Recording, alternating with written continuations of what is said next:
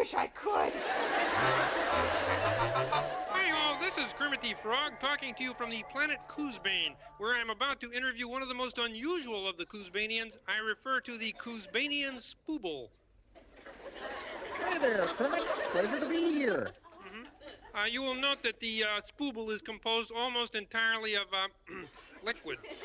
You betcha. Or as they say on Koozebane, we spoobles are all wet. Ho, ho.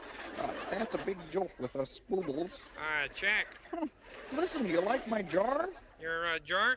Oh, it's the latest. See-through sides, convertible top. I'm not even wearing the cap. Uh-huh, yeah, it's uh, very nice. My wife said that for a TV interview I should wear my crystal vase. But you know, I wanted to be casual.